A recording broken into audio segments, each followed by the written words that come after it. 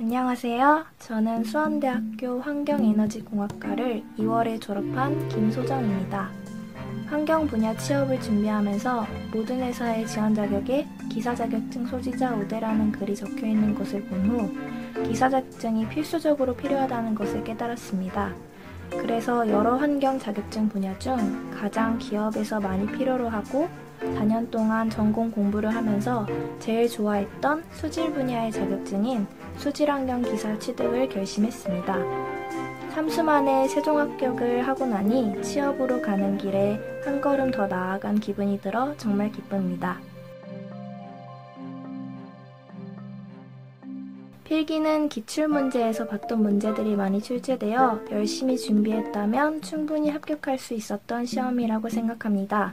실기 필답형은 제가 너무 미흡하게 준비한 탓에 계산 문제가 정말 어려웠는데 필답형 또한 열심히 준비했더라면 고득점을 할 수 있었을 것 같습니다. 제 공부 스타일이 이론을 어느 정도 정리하고 문제를 푸는 식이라서 이론 강의를 완강한 후에 이론을 머릿속에서 정리하고 문제를 풀었는데요. 이런 공부 방법으로 공부해서 이론을 더 빨리 외울 수 있었고 이번 시험에서 합격까지 할 수 있었다고 생각합니다. 저는 교재에만 필기를 하고 오답 노트도 교재에 했는데요. 교수님께서 언급하시고 넘어가셨던 이론은 파란색 펜으로 밑줄을 긋고 대부분의 필기는 파란 펜으로 작성했습니다. 교수님께서 중요하다고 강조하셨던 이론은 빨간색 펜으로 별표를 치고 필기를 했고 분홍색 형광펜으로 밑줄을 그었습니다. 이렇게 색상 차이로 이론을 정리했고 문제를 풀고 나서 틀린 부분은 어느 부분이 틀렸는지 빨간 펜으로 수정하여 오답을 고쳤습니다. 이런 식으로 파란색으로 친 거는 교수님께서 말씀하시고 넘어가셨던 부분이고요. 교수님께서 중요하다고 했던 부분은 이렇게 빨간색 펜으로 별표를 치고 분홍색 형광펜으로 밑줄을 그었습니다. 그리고 오답 노트는 이런 식으로 틀린 부분을 빨간 펜으로 수정하여 오답을 체크했습니다. 교수님께서 알려주신 암기법으로 중요 이론을 외웠고 그 외에 정말 안 외워지는 이론은 앞글자만 따서 외웠습니다. 물론 이 방법은 필기시험에서만 사용할 수 있었습니다. 이번에 실기 자격형 시험이 총 인만 출제되면서 기본적인 실험기구 설명 강의랑 총인 실험 강의를 들으며 작업형을 준비했는데요.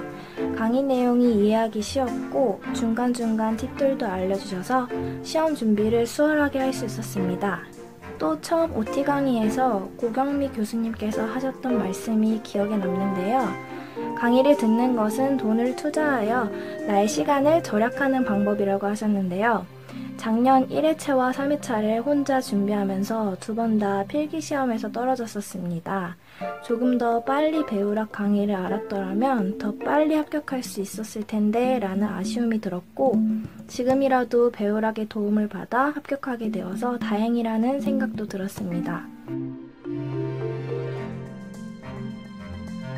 고경미 교수님, 안녕하세요. 저는 교수님을 정말 존경하는 수강생 김소정입니다. 교수님께서 알려주신 암기 팁들과 이해하기 쉽게 가르쳐주신 강의들 덕분에 제가 최종 합격까지 할 수 있었습니다. 정말 감사드립니다. 교수님께서 수강생들의 합격을 위해 많이 고민하시는 게 마음으로 느껴져서 공부를 하면서 저에게 정말 힘이 되었고 또 열정적으로 가르쳐 주셔서 저도 같이 열심히 공부할 수 있었습니다. 감사합니다. 필기 시험을 준비하면서 과목이 다섯 개나 되고 이론량이 어마어마해서 처음엔 정말 막막하고 어떻게 해야 하나 라는 걱정도 들 것입니다. 저 또한 그랬고 제 자신을 계속 의심했는데 고경미 교수님을 믿고 열심히 강의를 듣고 문제를 풀다 보면 그 많은 양의 이론이 점점 외워지고 있는 걸 어느 순간 깨닫게 될 거예요. 그러니 걱정하지 마시길 바랍니다. 실기 필답형은 기출문제를 많이 풀어보는 게 제일 좋은 것 같아요. 필기 시험을 준비하면서 어느 정도 이론을 공부하기 때문에 차근차근 기출문제를 풀다 보면 더 완벽히 이론이 외워지게 될 겁니다. 작업형은 계속 자신이 실험실에 있다고 생각하고 시뮬레이션을 많이 머릿속으로 돌려보는 게 중요합니다. 진짜 실험에서는 어떤 실수를 하게 될지 모르기 때문에 주의해야 할 점들은 꼭 숙지하시기 바랍니다. 저는 실기 작업형 시험 날짜를 맨 마지막 날의 마지막 시간으로 운 좋게 접수하게 되어 필기 합격 후 실기 시험까지 기간이 빠듯하지는 않았습니다. 실기 시험은 날짜 접수까지가 시험에 포함되는 것 같아요.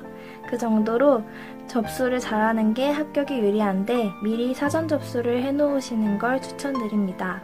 수질환경 기사와 산업 기사를 준비하시는 모든 분들 화이팅 하세요!